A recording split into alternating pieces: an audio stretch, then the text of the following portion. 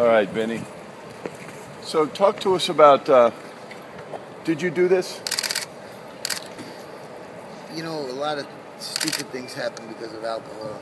But one thing, the main thing, the only thing that is the center of attention here, I do not hit women. The police I have too much otherwise. heart. I have too much heart for that. I, you know, I, I hate domestic abuse cases. I don't come from a Chris Brown family. My father never laid a hand on my mom.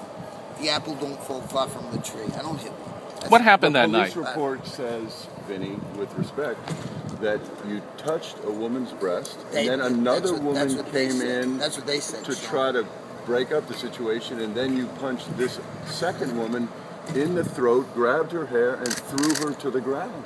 That's in the police The report. last thing I said to the cops, I said, look, there's four or five of you cops here. I said, I want you to look at them people. One guy, one dude, two chicks. I said, look at them.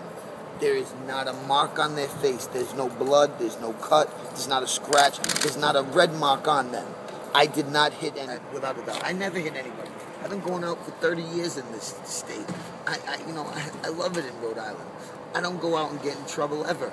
You know what I mean? I'm Whoa, whoa! time. I, don't, get in trouble get ever. in trouble ever. I don't get in but trouble yet ever. You and I have a whole history of Nah, meeting and there's talking no- outside There's courthouses. no, there's no, there's not really a history. It's a couple of times. Well, but you just said ever. I hate a handful of times. Okay.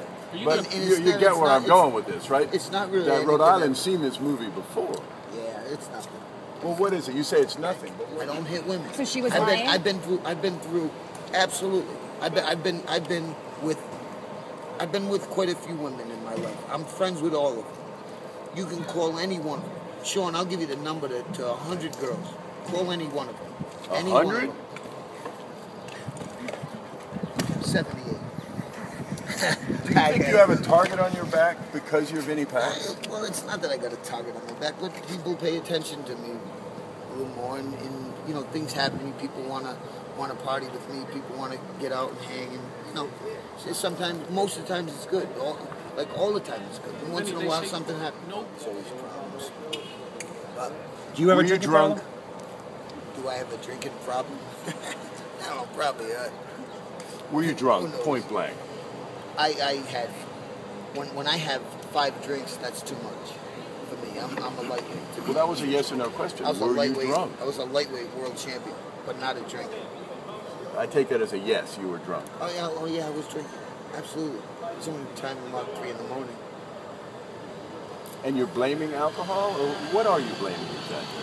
I'm not blaming. I'm not blaming anybody. It, you know, they, they had some drinks, and you know maybe that's what they thought. That's what they felt. I, I just don't hit girls. That's the bottom line.